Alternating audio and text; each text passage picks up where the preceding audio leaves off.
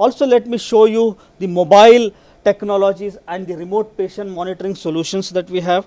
So I am showing you this is the My CareLink Heart mobile app which is used by our patients. So all these implantables are connected to this mobile app. So a patient has this app in his hand.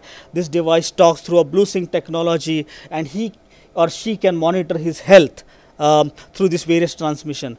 The same app also sends transmissions to the hospitals and the clinics where the patient is registered and the clinicians or the hospital staff can provide the recommended uh, uh, or the right uh, solutions or prescriptions to the patient using this app. So this has helped a lot during the COVID situation because patients were able to uh, were able to reduce the number of visits that they had to do to the hospital. So you can look at it, this is how the app works and a uh, lot of patients got benefited out of it during the pandemic situation and the hospitals got benefited with the reduction in the number of patients visiting that. So this is the focus of Hyderabad team where we are building uh, software engineering solutions uh, which can help in the connected care ecosystem.